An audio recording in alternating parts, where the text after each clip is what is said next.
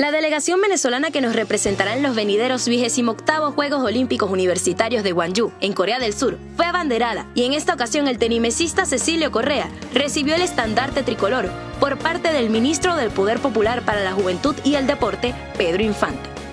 El acto se celebró en el Salón Federico Núñez Corona de la Universidad Experimental Politécnica de la Fuerza Armada Nacional, UNEFA, ubicada en Caracas.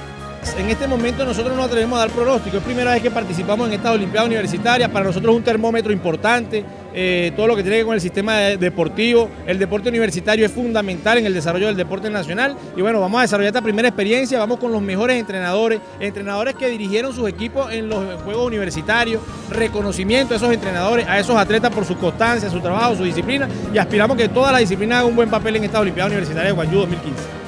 Para estos Juegos, Venezuela participará con 53 deportistas masculinos y 40 femeninos, con edades comprendidas entre los 17 y 28 años.